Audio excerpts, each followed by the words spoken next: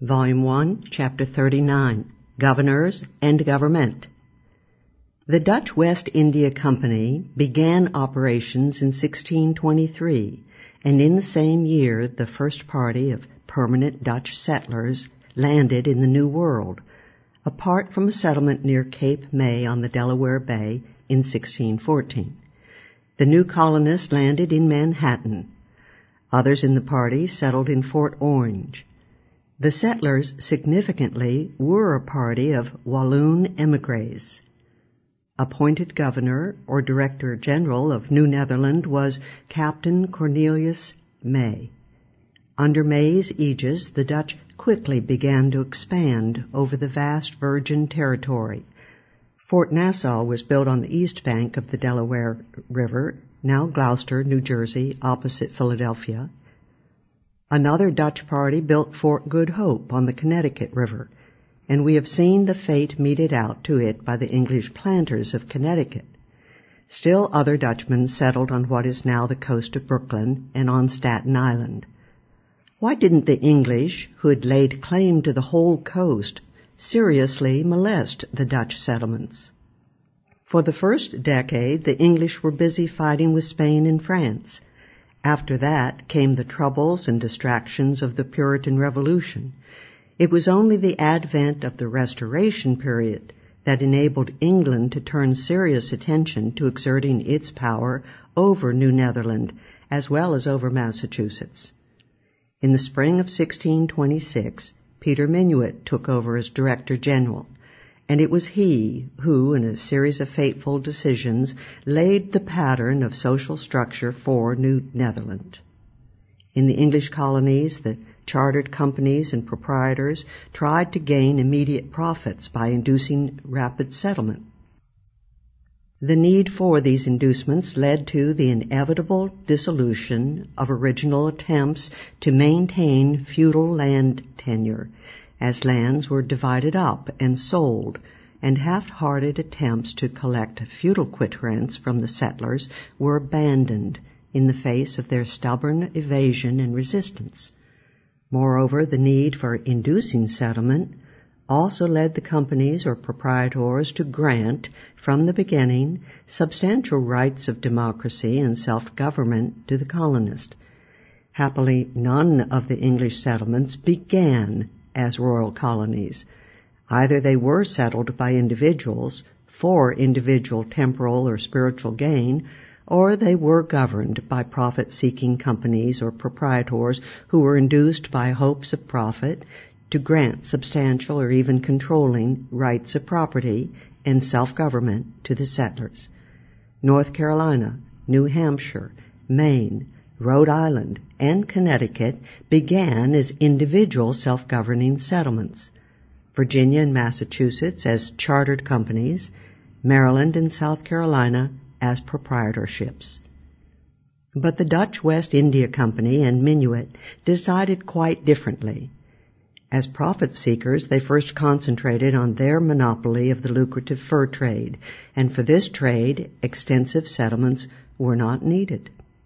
Whether by design or not, the effect of Dutch policy was to discourage settlement greatly and to hamper the development of the vast area over which the Dutch West India Company had been assigned its monopoly.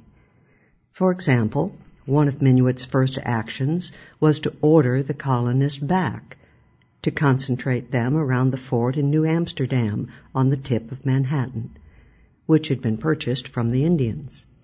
This arbitrary policy left only a few traders at Fort Orange and only one vessel on the Delaware, Fort Nassau being completely abandoned. This action stemmed from the company's high-handed decision to retain its exclusive monopoly of trade. To leave too many individuals on the interior would foster illegal competitive trading. Second, the Dutch perpetuated a feudal type of land tenure by insisting on leasing rather than selling land to the settlers. It is no wonder that with no settler permitted to own his land and thus help to dissolve feudalism and land monopoly, and with no one permitted to trade on his own account, the pace of settlement was very slow. Furthermore, the form of government was by far the most despotic in the colonies. There was no self-government or democracy, no limitation whatever on the arbitrary rule of the company and its director general. The director, along with a council of five, appointed by the Amsterdam Chamber, ran the entire government, its legislative, executive, and judicial functions. They were joined by two other officials appointed by the company, the schout fiscal, who made arrest and collected revenue, and the koopman, the secretary of the colony. There were no legislatures or town meetings of any sort. By 1629, it was evident that the colony was growing very slowly. Only 300 persons, for example, lived in New Amsterdam. The company, therefore, decided to spur settlement, but instead of dissolving its land monopoly into a system of true private property for landed settlers, it decided to make the monopoly into a more elaborate feudal structure, subland monopolists placed over large particular areas in New Netherland. In the Charter of Privileges and Exemptions of 1629, the company decided to grant extensive tracts of land to any of its members who would bring over and settle 50 or more families on the tract. The tracts were required to lie along the banks of the Hudson or other navigable rivers and were granted in huge lots of 16 miles along one shore of the Hudson, or 8 miles on both shores. The depth on either side of the Hudson was indefinite. The grantee was termed a patroon, or lord of the manor. In imitation of the feudal lord, the patroon was to possess civil and criminal jurisdiction over his tenants, or peasants, the tenants had the formal right of appeal from the patroon's manorial courts to the feudal overlord, the company's government, but in practice the tenants were forced to forego this right. The property of any tenant dying intestate reverted to the patroon, and the tenant was forced to grind his grain at the patroon's mill. The tenants were exempted from colonial taxation for ten years, but in return they were compelled to stay on the original estate for the entire period.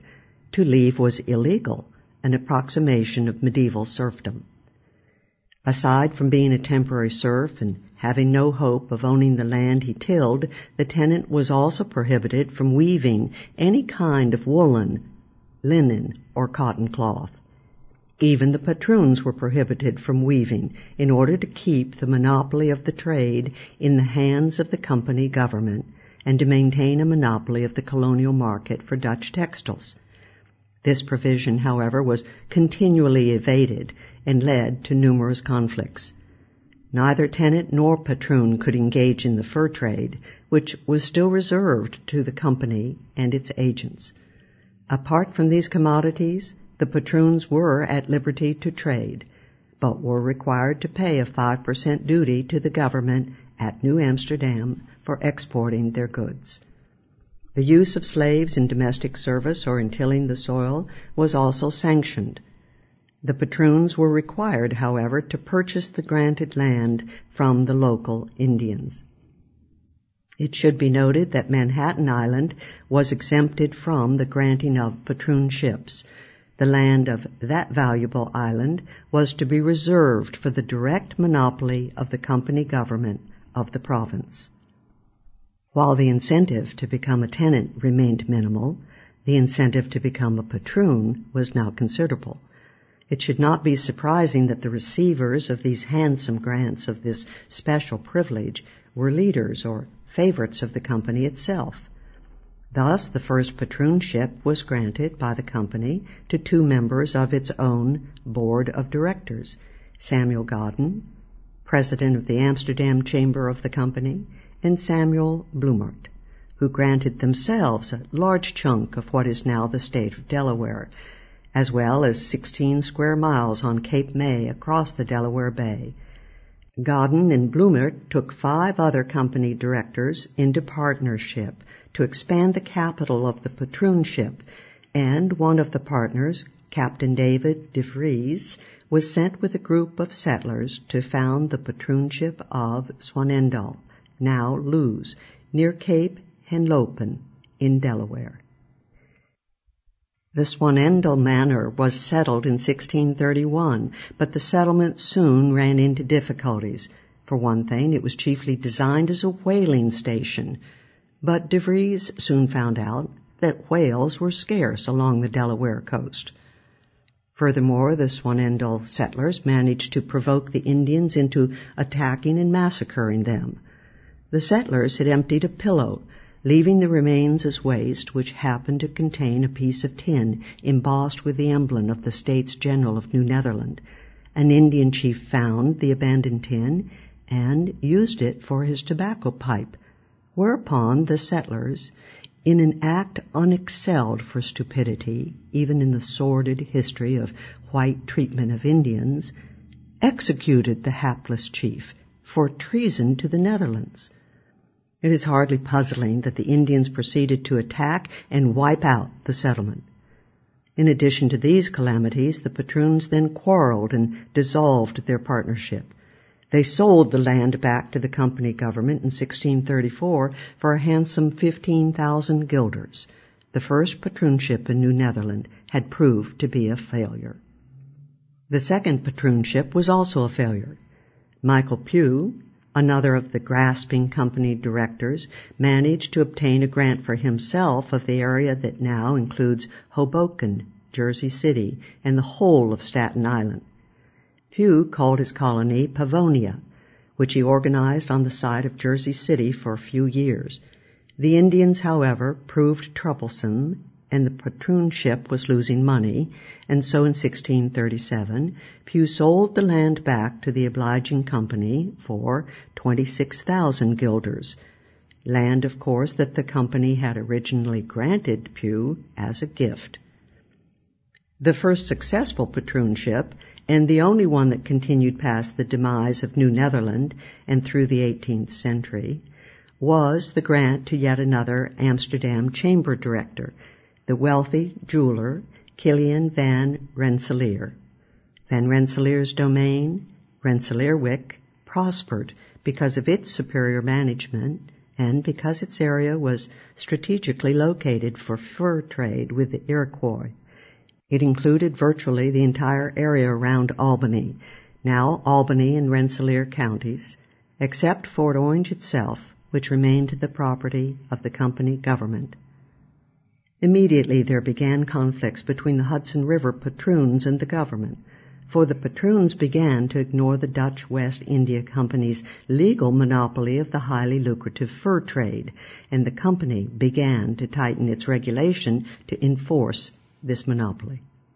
The patroons' illegal fur trade not only endangered the company monopoly, it also led them to concentrate on furs rather than encourage a large agricultural population, which the company government was now trying to foster. As a consequence, Peter Minuit was fired as Director General by the company in 1632 on charges of being too soft on the patroons. Succeeding Minuit was Wouter van Twiller, a clerk in the company's Amsterdam warehouse, chosen because he had married into the powerful Van Rensselaer family. Conflicts with the patroons over fur trading continued in the Van Twiller regime. Externally, New England began the process of overrunning Fort Good Hope on the Connecticut River. However, the English occupation of the abandoned Fort Nassau on the east bank of the Delaware was ended as Van Twiller reoccupied the fort and drove out the settlers. Further Dutch expansion took place during the Van Twiller administration. Arent Corssen erected Beaver Road Fort on what is now the Pennsylvania side of the Delaware. A good part of the expansion of land was accomplished for the benefit of Governor Van Twiller himself – he and his friends were given land grants and purchased large speculative tracts of land from the Indians. The tracts were concentrated on western Long Island, notably in the present flatlands of Brooklyn. Van Twiller himself purchased Governor's Island. None of these purchases was approved, as was legally required by the Amsterdam Chamber of the Company. What is more, the director saw to it that his own farms received the best services from the government. In addition to the conflicts over land irregularities and fur trading, the schout fiscal opposed the director's methods. When Van Twiller fired the schout fiscal, Lubertus van Dinklagen, the latter complained to the States General. Furthermore, although some tobacco was now growing on Manhattan Island, the emphasis on the fur trade was helping to discourage agriculture and permanent settlement. The States General, perturbed that emphasis on fur was discouraging permanent settlement in New Netherland, ordered the dismissal of Wouter van Twiller in 1637. But if the Dutch colonists had been chastised with whips, they were now to be chastised with scorpions. Arriving in 1638, the new director, Amsterdam merchant Willem Kieft, proceeded to impose an absolute despotism upon the colony. First, he reduced his council of advisers from five to one, and on this rump council of his adviser and himself, he had two votes. To appeal his decisions to the Netherlands was now made a high crime. Assured of absolute power to issue his decrees, Kieft outlawed virtually everything in sight. All trade of any commodity whatsoever was outlawed, except by special license issued by Kieft. Any trader doing business without a license had his goods confiscated and was subject to further punishment. To guard against possible trade, all sailors were prohibited from being on shore at night, under penalty of forfeit of wages and of instant dismissal on second offense. All sales of guns or ammunition to the Indians were prohibited on pain of death. All sorts of immoralities were prohibited. Heavy restrictions were placed on the sale of liquor. Any tavern keeper selling liquor to tipsy customers was subject to a heavy fine and to confiscation of his stock. A tax was placed on tobacco.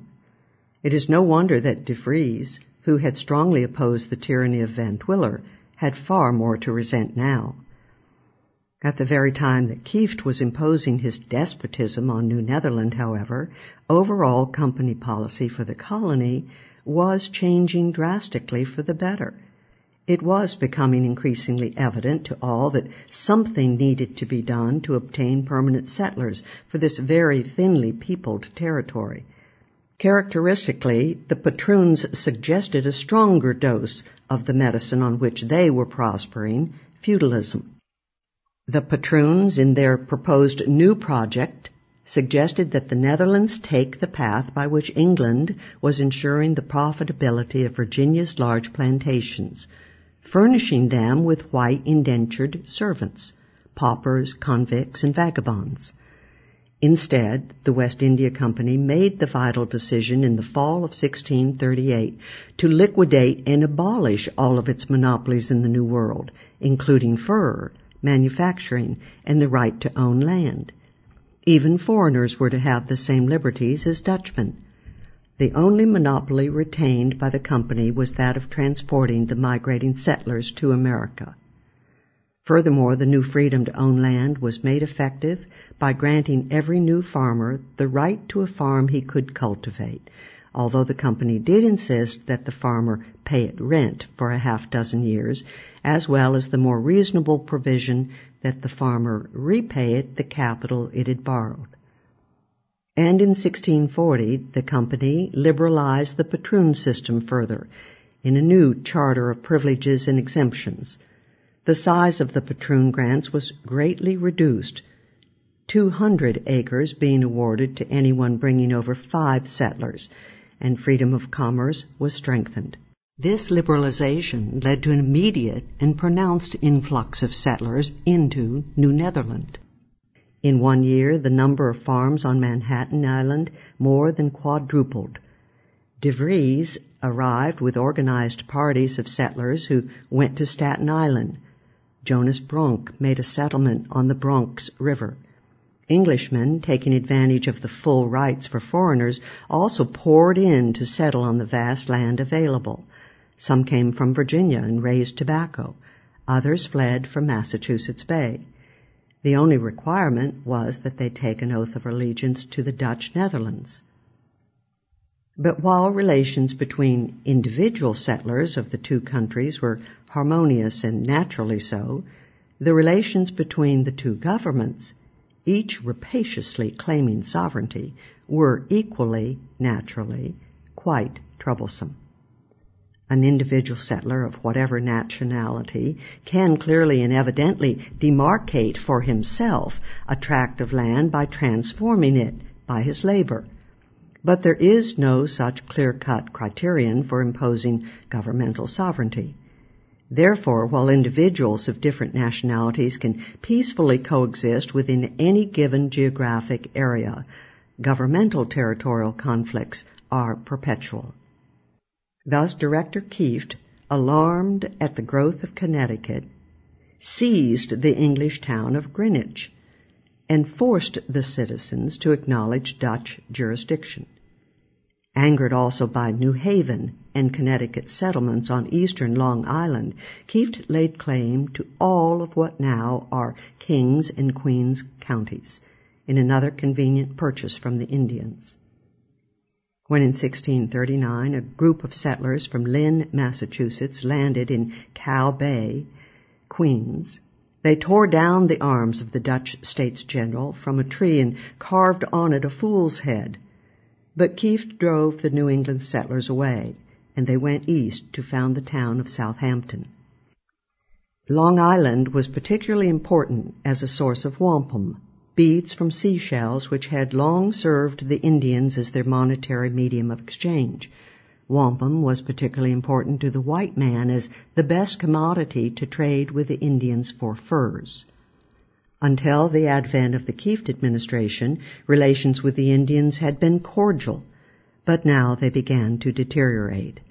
For one thing, oft times the cattle of the many new agricultural settlers strayed onto Indian property and ruined Indian cornfields.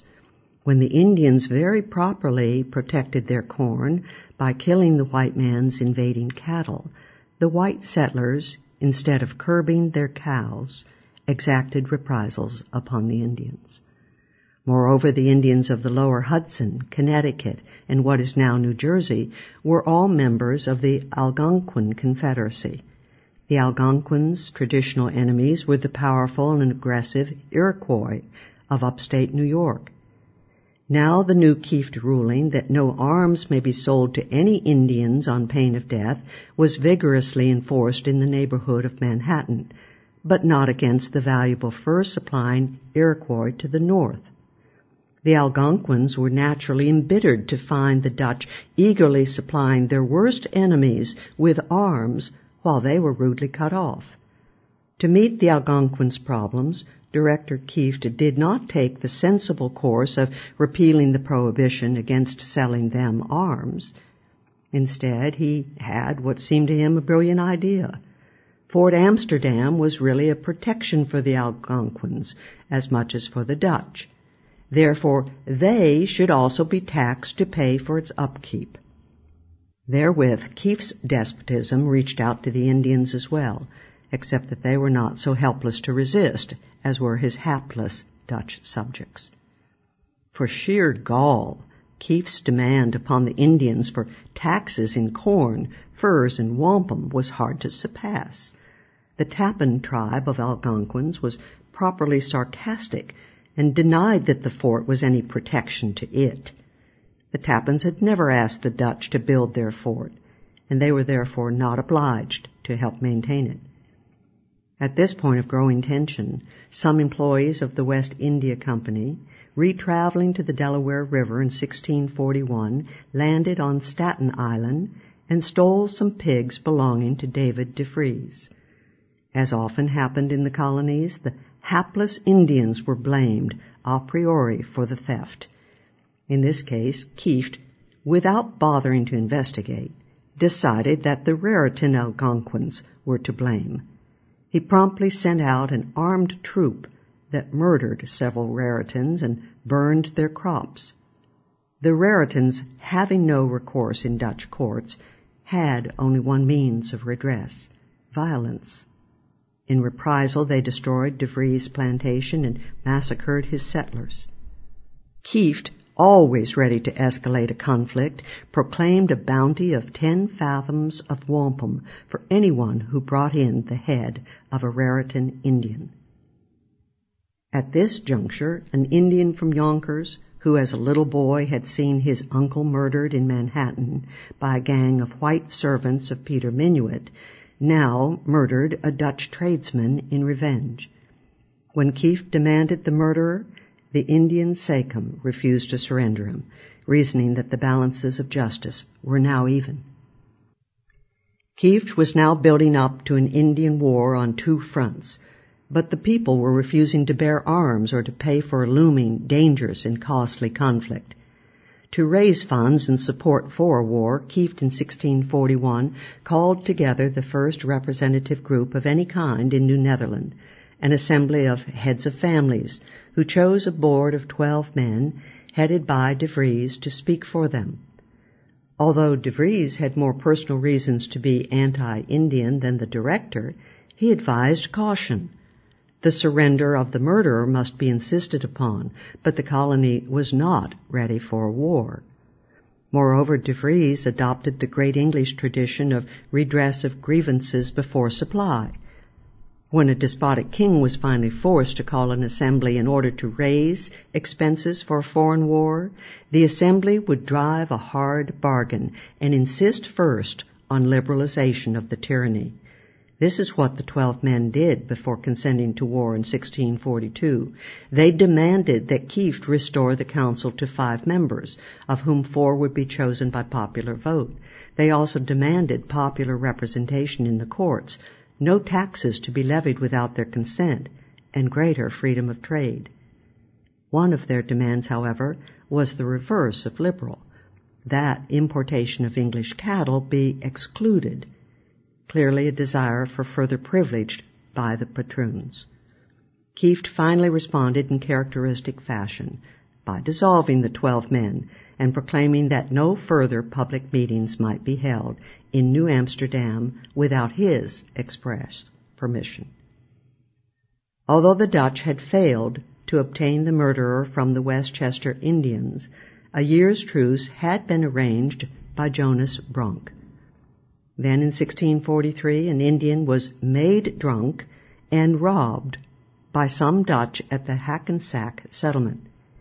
In revenge, the Indian killed a Hackensack settler.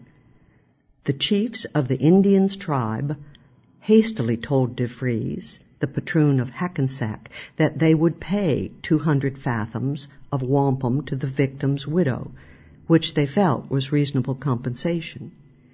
De Vries advised acceptance of the offer, but Kieft insisted on surrender of the murderer. The murderer, however, had fled upriver to the Haverstraw Indians. Kieft immediately demanded that the Haverstraws surrender him. At this point, a new factor intervened. A force of aggressive Mohawks of the Iroquois Confederacy, each armed with Dutch muskets, descended upon the Hudson River tribes to terrorize and exact tribute. Although the Dutch would not break their treaty with the Iroquois by fighting them, De Vries did agree to give shelter to the Algonquin refugees at his main patroonship of Riesendal at Tappan, and other refugees took shelter at Pavonia and on Manhattan Island. Council was now divided among the Dutch.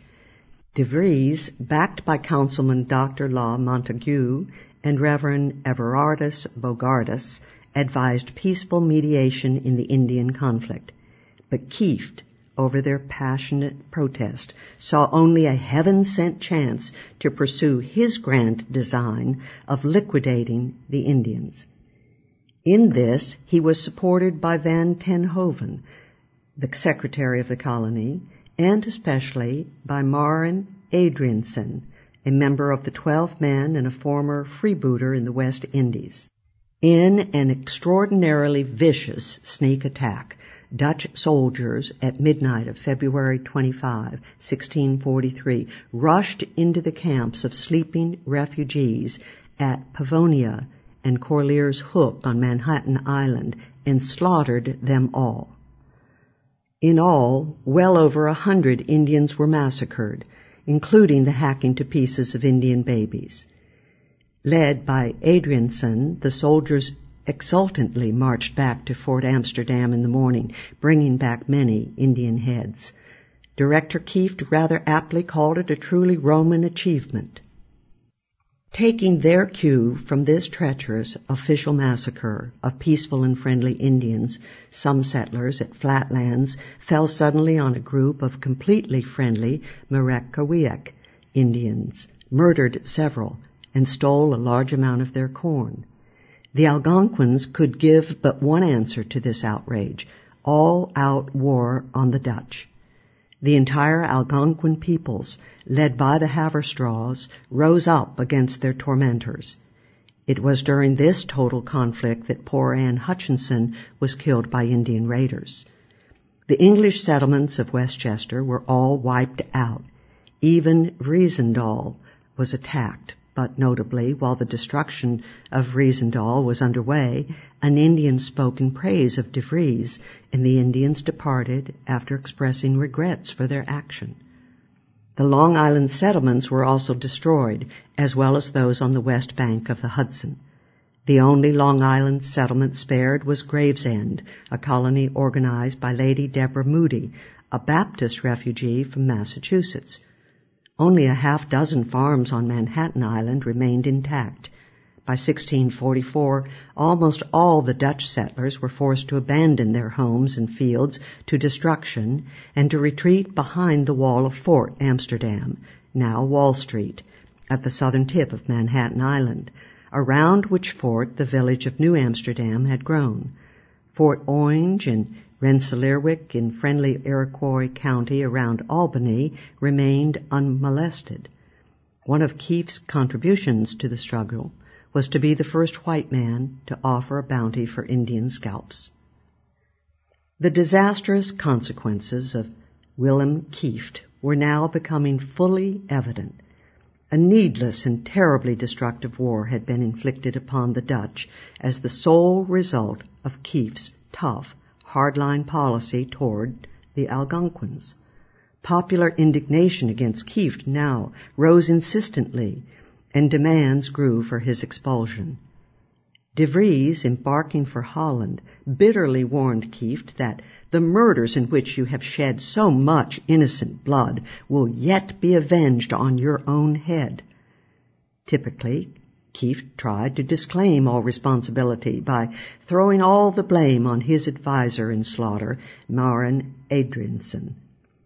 Adriaensen, whose farm had just been destroyed, naturally grew somewhat bitter at this treachery, and with a few comrades rushed into Kieft's room to try to shoot the director. The assassination attempt failed. The man who fired the shot was instantly killed, and his head publicly displayed.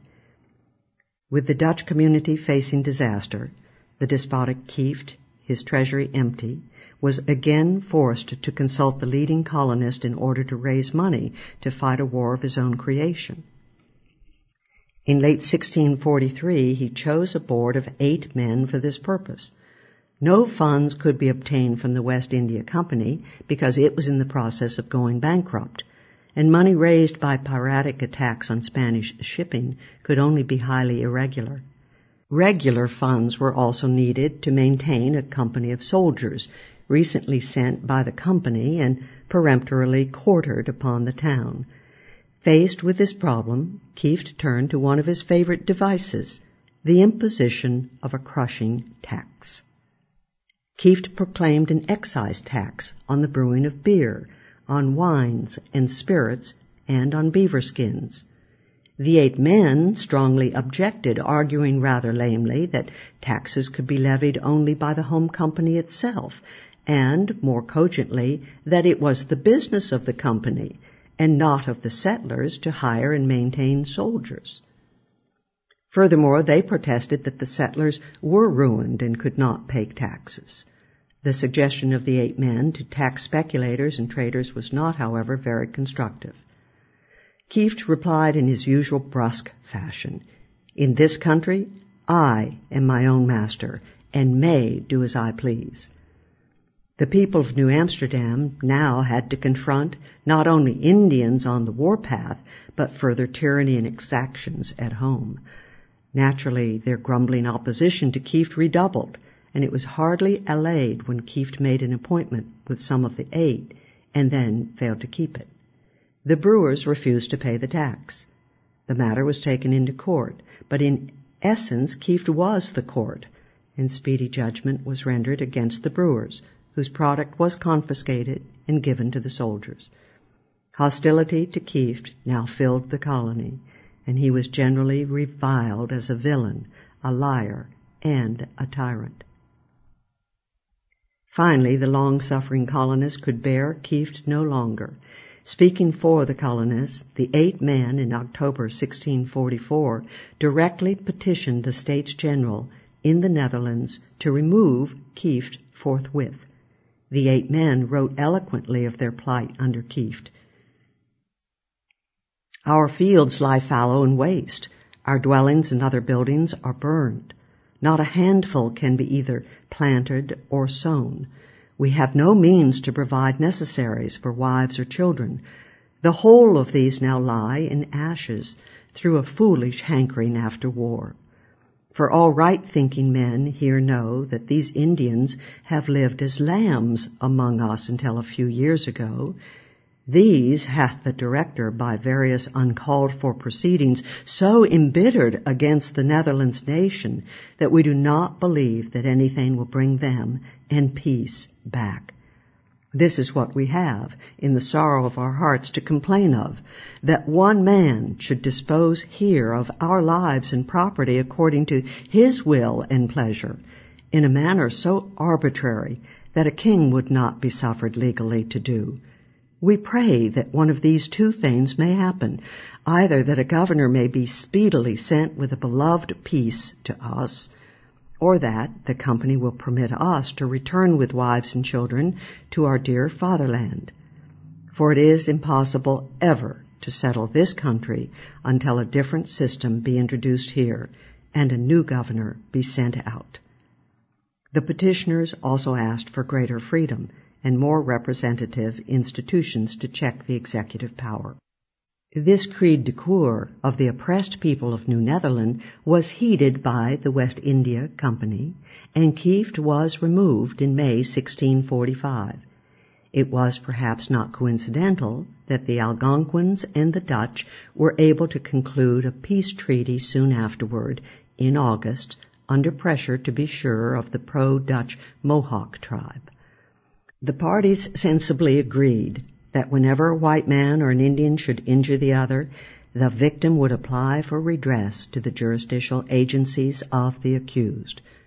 An ironical part of this peace treaty was the Algonquin agreement to return the kidnapped granddaughter of Anne Hutchinson, who now liked Algonquin life and who was returned against her will.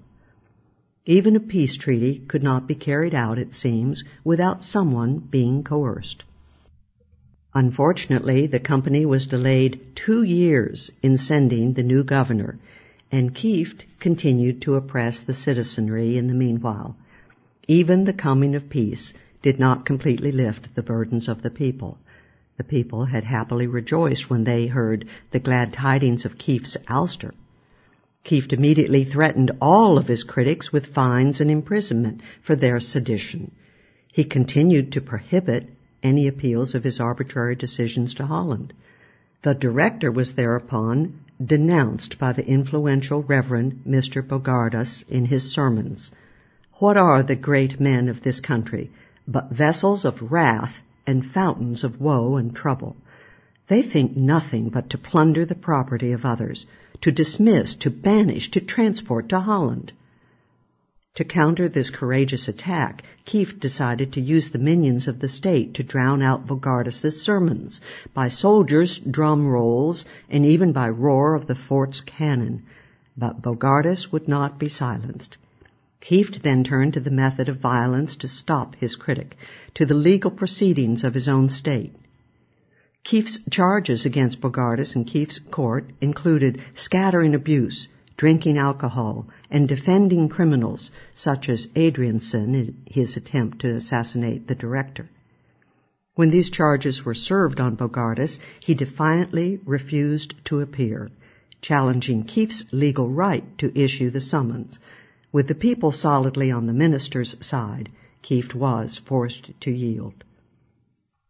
Finally, at long last, Kieft's replacement, Peter Stuyvesant, arrived in May 1647. So great was the jubilation of the people in getting rid of this incubus that almost all of the fort's powder was used up in the military salute celebrating the arrival of the new director. When Kieft handed over the office, the conventional vote of thanks to the old director was proposed, but two of the leading eight men, Cornelius Melyn, the patroon of Staten Island, and the German Joachim Kuyter, refused to agree, saying that they certainly had no reason to thank Kieft. Moreover, they presented a petition for judicial inquiry into Kieft's behavior in office. But apart from being no liberal himself, Stuyvesant saw immediately the grave threat that a precedent for inquiry into a director's conduct would hold for any of his own despotic actions. The late 19th century historian John Fiske aptly compared Stuyvesant's position to that of Emperor Joseph II of Austria-Hungary during the American Revolution over a century later. Stuyvesant felt as in later days the Emperor Joseph II felt when he warned his sister, Marie Antoinette, that the French government was burning its fingers in helping the American rebels. I too like your Americans well enough, said he, but I do not forget that my trade is that of king. C'est mon métier d'être roi. So it was Stuyvesant's trade to be a colonial governor. Stuyvesant loftily declared that government officials should never have to disclose government secrets on the demand of two mere private citizens.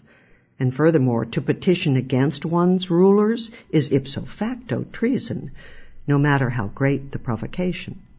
Under this pressure, the petition of Melyn and Kuyter was rejected in the council, even though the company, in a mild gesture of liberality, had agreed to vest the government of New Netherland in a three-man Supreme Council instead of Kieft's one-man rule. A Director General, a Vice Director, and the Schout Fiscal. All, however, were company appointees. The Dutch soon found that their jubilation at the change of directors should have been tempered.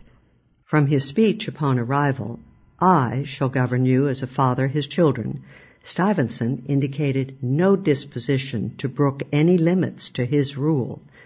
Even on the ship coming over, he had angrily pushed the new schout fiscal out of the room because the latter had not been summoned. When Stuyvesant assumed command, he sat with his hat on, while others waited bareheaded before he deigned to notice them, a breach of etiquette.